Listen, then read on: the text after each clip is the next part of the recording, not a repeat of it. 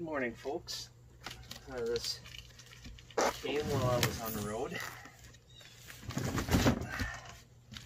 Amazon warehouse deals.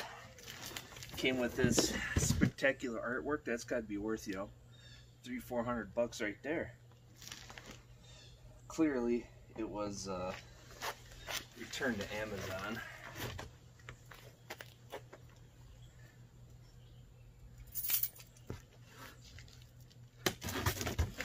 One of these days I'll get a KA-BAR knife.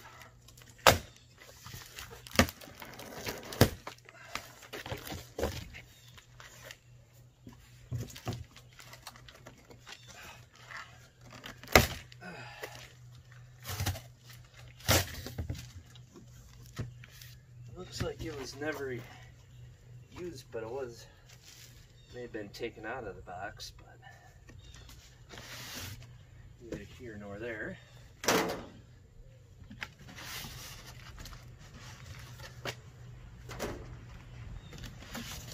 My twin force started going out, so this power boost didn't work anymore, so I gave that away to a neighbor.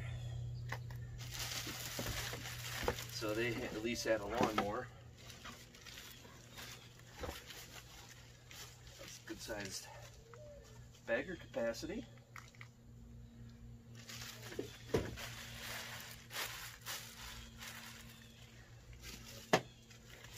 Another 80 volt charger. I got the single 4 amp hour battery instead of the two 2 amp hour batteries. For one, the 4 amp hour battery works better in the chainsaw. I'll set this off over here.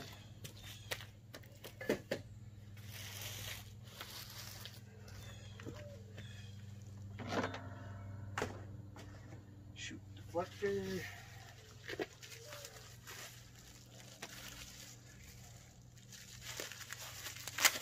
Tell this is never used by the way the bubble wrap is taped.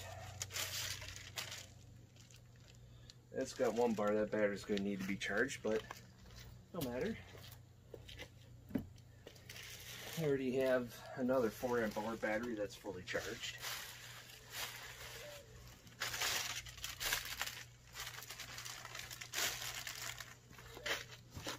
Good place to store the garbage when if you're outside and it's windy, just stuff it in the bagger.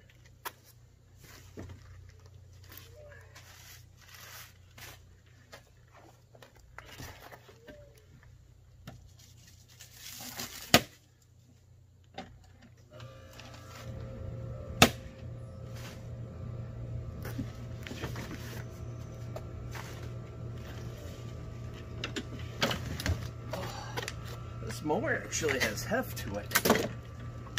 That's because it's a steel deck. Get away from my ear, you goofy bees. The ear isn't a flower.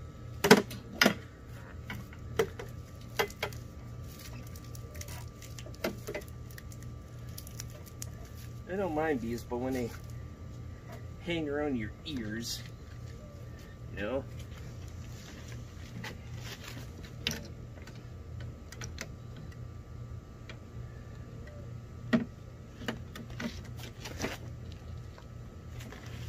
Oh, good.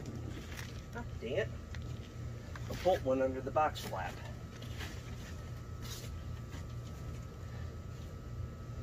I was worried that this was missing when I saw this.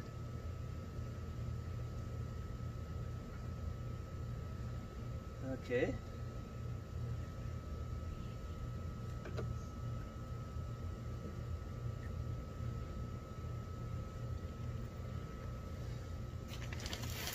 Get the box out of the way.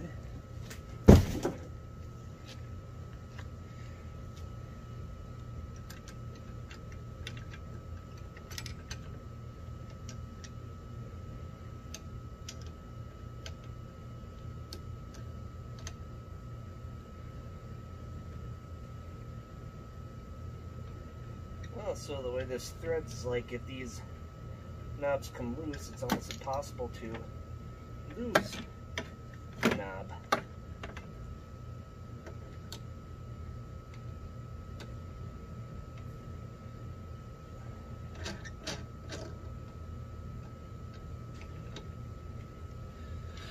Show you what I'm talking about. This part, it'll thread on first little bit of the way.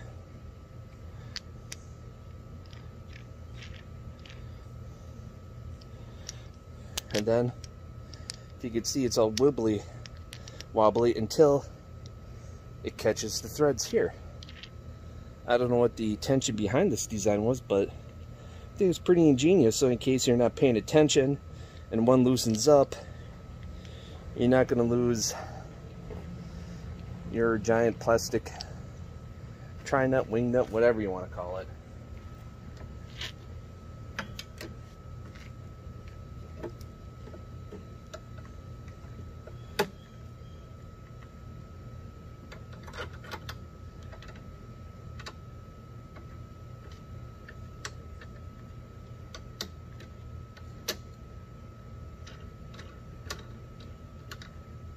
Push it on.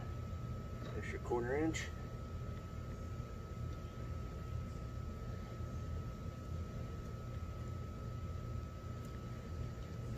This might be the easiest lawnmower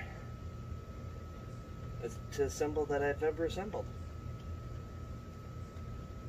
Oh hey, this one's got uh, blue bearings in it. That's nice. Uh, it's got cheap plastic wheels, but it's got blue bearings in it. Well, if you get to cooperate, that's how it stores.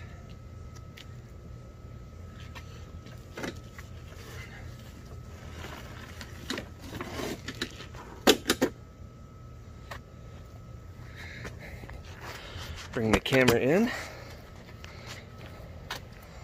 And this has a plastic blade, well, nylon backer, but that's for cooling the motor. The blade is a bit, a little bit thicker than the one on the Twin Force, but not a whole lot. You can see that mower is perfectly clean. These, I don't know what these are. I've never seen anything on this feature. Maybe that's to help uh, make the grass stand up. I don't know. So it can cut better. And we'll see. It's got the plug in for the mulching plug. That gets shoved in from uh, the bagger. Let me go get the battery and uh, get this thing going.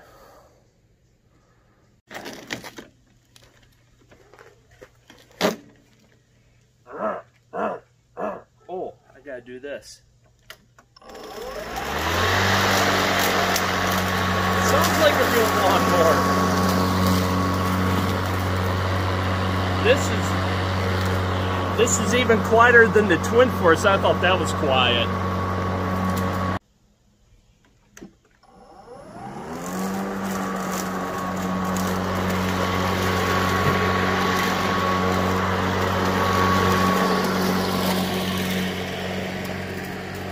I love it. Starts every time.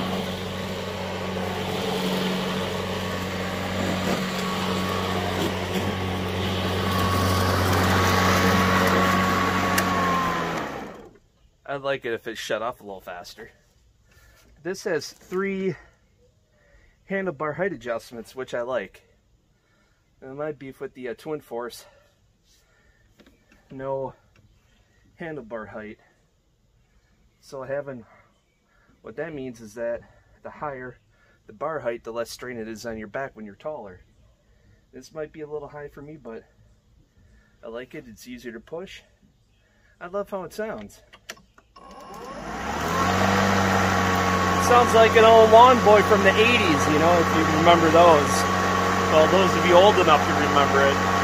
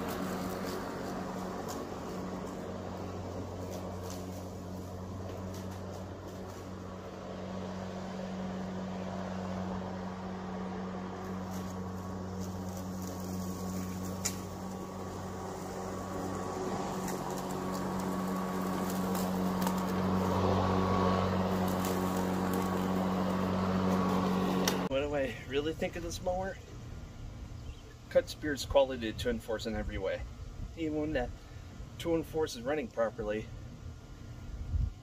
uh, you know, with the power boost, it did not do the cut quality this did. It may have mulched better, but I haven't had a chance to really do any mulching. And it's July 5th, people are going by, so don't worry if you hear any talking in the background, but it's almost as easy to push. I love the sound it makes. Like I said, uh, makes that Lawn-Boy type sound from like the 80s, 90s, and when they ran two cycles. So it sounds like a muffled one of those. I love the sound. It sound. I don't know how they did it, or if it's even intentional. It sounds just like a regular lawnmower, you know, like the Lawn-Boys did. Not a four stroke, but definitely a, a muffled two cycle. Yeah, I love the height adjustable handlebars. Uh, that is not a feature that was uh, promoted in the, uh, the Greenworks website. So Greenworks, if you're listening, promote the height adjustment features on these things. Uh, unless I miss something, you know, point that out to me in case I miss something. And it seems easier to uh, tell where your motor might be the time of day or the dew or the weight of it presses the grass down a little more. Probably weighs 20 pounds more than that Twin Force. So that, that could be it. Uh, easier to, yeah. And that alone helps the cut quality too. Is that the extra weight bends the grass down more, I think. Yeah. Overall, you know, I, I bought that Twin Force used for one, so I never knew how it was treated. Uh, but base, if I would have borrowed uh, one of these, I know someone that has one that's a few couple years old now, two, three years old. Almost when they first came out with them, I think. I can't remember, but I'd have to ask them. I would have went straight to this one. I wouldn't have messed around with anything else. But at the time, I don't think I could I could afford a brand new one. So that's why I bought the used Twin Force. This one is worth so far every penny of it. I already had, had a 2 amp hour battery when I got my chainsaw. I bought an extra 4 amp hour battery. This battery, oh, well, actually the one on steps, I didn't charge that yet. This is the one I bought, a battery I bought extra. I have plenty where I could do several of these lawns. I figured I could probably do this yard, this little postage stamp, four times on a charge. Never have to go get gas. That's the main thing. Uh, especially if you can't get out a whole lot or town is far away. And go with battery power and you don't have to run to town so much for gasoline or store so much and risk it going bad unless you're using a lot of it. And the mowing height is seems to be set right. That's all the good sound like I said, all the good all the right sounds. Definitely worth it. I definitely recommend it just based on a few minutes. I don't have the tall thick grass like you see in some videos, but it's doing a way superior job in this thin grass. If you're wondering which mower does better on thinner grass where it isn't as densely packed like in a regular soil because this is if you're watching this for the first time this is all sandy ground so it takes forever for grass to get established and then it doesn't grow in too thick. And it dies off easily. There's a dead spot where the trailer was moved from in the last video.